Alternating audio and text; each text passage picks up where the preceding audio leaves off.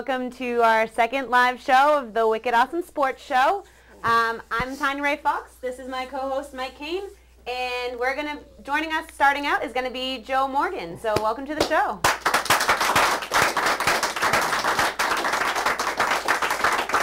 All right.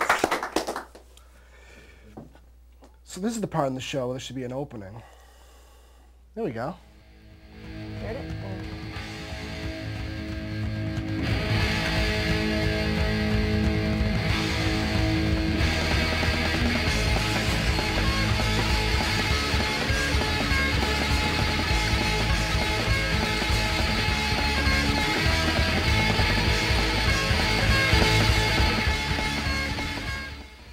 Right. That was good, guys. That was good. That was awesome. Thank you. Thank you. Thank you so much. Our live audience is still Wow, that was good. Yeah. Um, we're still learning. They're still learning. So uh, thanks for tuning in. Um, I am proud to announce that we are one of the first uh, TV shows of all time that take phone calls. So um, if you have a phone um, of the cellular variety, the wall variety, we take calls. So it's um, we're still working on it. It's still like a new sort of thing, but you can call in, ask us questions. And um, our first guest, um, I am proud to say, all the way from Walpole, Massachusetts, Joe Morgan.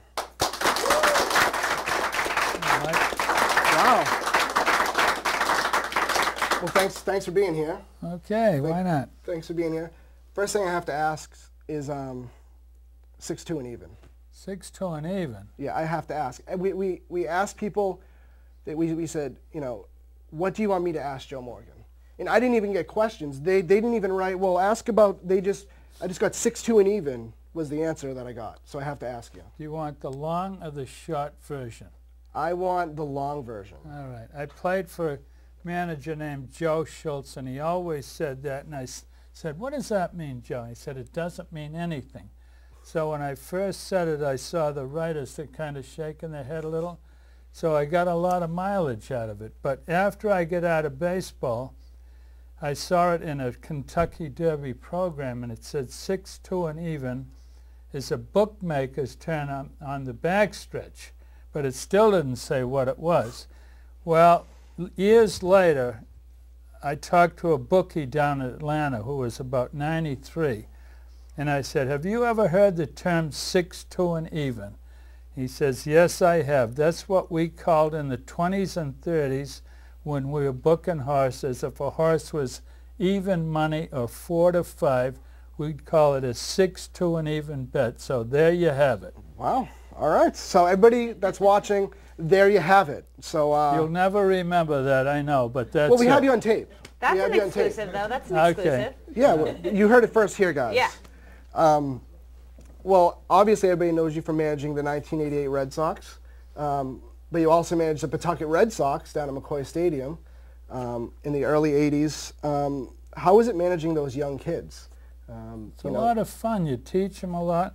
Everybody in the minor leagues is in the same boat. They want to get to the big leagues. The umpires, the players, the coaches, the whole bit. So it's it's pretty good along those lines. And there, there was no better fun than helping a young kid play ball and eventually do it in the big leagues. That's the thing I liked about coaching. and you had um, a young kid from Nebraska down in Pawtucket, Wade Boggs. You coached, you managed him, Wade Boggs. I mean, how was he? Was he not too shabby down in Pawtucket? Well, he was a great hitter, and uh, he wasn't that good a fielder in the minor leagues, but he made himself a good fielder in the big leagues, which doesn't happen too often.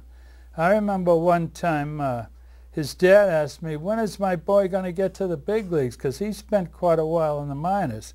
I said, nobody wants a singles hitting third baseman. and he said, you know what, I've been telling my son that for years, but he proved us all wrong. He really did. That's he for really sure. did. Not too shabby. Um, so Wade Boggs and yourself, you were all involved in the legendary longest game in professional baseball history, 33 innings, um, eight and a half hours over two days. Um, I, I, I just need to ask you this. When in that game did you just say, I don't care who wins? I just want to go home and go to bed. Well, I mean, there must have been a time where you're just like, you know what? Let's just all go home. we were definitely praying for one team to get a run. I don't, I don't think anybody really cared whose team won. Really, you're right there. Uh, so, in the, you didn't last the whole game. I got kicked out in the 23rd inning game. I mean, the 23rd inning. I'll tell you why. The umpire is a local guy from around Worcester, and he had his grandson there that day. The first time the kid had ever seen a game. And he was sitting up there all these hours, and, and the umpire got a little anxious. So he bounced me out of there for I didn't even swear at him. that was the greatest part about it. Never said a swear to him. So, did, did you get to go home? No, I went. I looked through the hole in the wall for a while, but that got monotonous because the sand was blowing in my eyes. It was a very cold night with the wind blowing in, and wasn't much fun. So I retired to the uh, locker room, and the phone rang in the in the uh, owner's office. It was, it was with my wife. She said, "Where is Joe? The game's going on." But now she heard me talking in the background, and she thought we were pulling a leg, that we were sitting there drinking beer or something. so uh, the game ended that night about eight past four, and the Irish had a thing they used to say on Christ, uh, Easter morning, which was the next day, the sun would dance in the sky when it came up. Believe me, as I was driving home on Route 1, the sun did not dance in the sky. Yeah, that must have been a long game. I heard there was 19 people in the stands, but I mean, I'm sure that's probably more than there really was. I can't imagine anybody was sitting no, there was about 19. Nine, about 19. All right. Just. Um, and then fast forward a few years, 1988, um, and previously in 1988, you were in the Red Sox major league organization as you know first base, third base, bullpen coach, um, the whole the whole nine. And then 1988, midseason, um, obviously the team was probably playing around 500 baseball, just not performing well. And I'd say the rest is magic. The rest is history. You took them over, and 12 in a row. You got to the playoffs. Um, my question is, when a new manager takes over and you have the same uh, roster, you have the same pitchers, you have the same hitters, what makes that difference? Like, what makes them want to listen to you? I don't know. That's the strangest thing about it. But I, the same thing happened with the Milwaukee Braves one time. They, they uh, changed their managers, and they had players like Henry Aaron and uh, Warren Spahn and guys like. They had a terrific club, but they were like ours. They weren't winning. They win 11 in a row, and I played for the guy that was managing that, that team, who came on, Fred Haney. And uh, when we won 12 games in a row, I became the winningest interim manager in baseball history. 12 straight wins. Wow. So, but that was the irony. of They were both great teams and just weren't doing it. Yeah, I mean, that's so much for an interim manager. It was a few seasons, and you know, it's. And uh, Lou Gorman was your GM.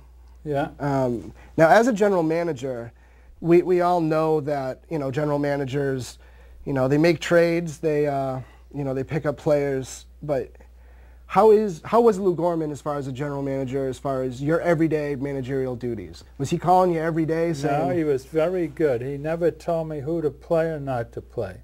He'd ask me if I want to play or not, and that was about it. Some some general managers uh, probably keep him up all night calling him, but not Lou. He was very good at that. Wow, yeah, I can, I can imagine. I mean, nowadays you always hear about the general managers being very involved with their managers. We all, I think we only disagreed on one guy that he got. Remember that uh, guy from uh, the Dodgers, Marshall, the outfielder? Yep.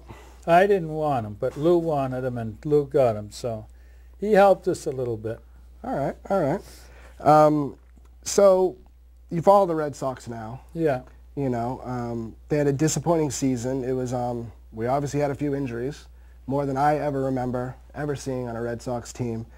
Um, what do you think they're going to do in the offseason? Do you think they're going to make a splash? Well, number one, those injuries you talk about. I've seen a lot of clubs have that many injuries, but I've never seen a club with guys with two broken feet, broken thumbs, uh, ten cracked ribs. It was like they were playing football or something. they got their work cut out for them in this winter, though. Yeah. We've got our Ortiz back, but there's a lot of question marks there with Martinez and Beltre, especially if they leave. You've got to replace them. Yeah. I don't worry about the money because it's not mine. Fair enough. You know? Fair enough. That's a good way of looking at it.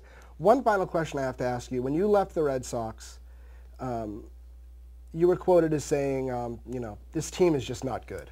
Like, I said they weren't as good as people think. Was I right or wrong? okay, you were right. Thank you very much. You were right. Um, you're right. Um, was it almost to light a fire under them? Because when you left, I mean, I'm sure they were probably thinking, you know, who does he think he is telling us we're not good? Or were they really just not good? Well, by that time they were gone home for the winter. Most of them never even heard it, maybe. Good point. Good point. All right. Well, um, thanks for coming. Okay. You know, we, we appreciate it. Um, and um, before we go, I just want to say that everybody really needs to check out um, the Walpole Scholarship Foundation.org. Um, everybody knows that Joe does a golf tournament every year, celebrity golf tournament. Um, so it raises a lot of money for the Walpole Scholarship Foundation. Um, so definitely check that out. And um, thanks for watching. We'll be back. Um, Yep, we uh, actually will be rejoining with, uh, we're going to, hey, we're to be rejoining with uh, Celtics Talk. So tune in after the break and I'll be back with Brian and Phil.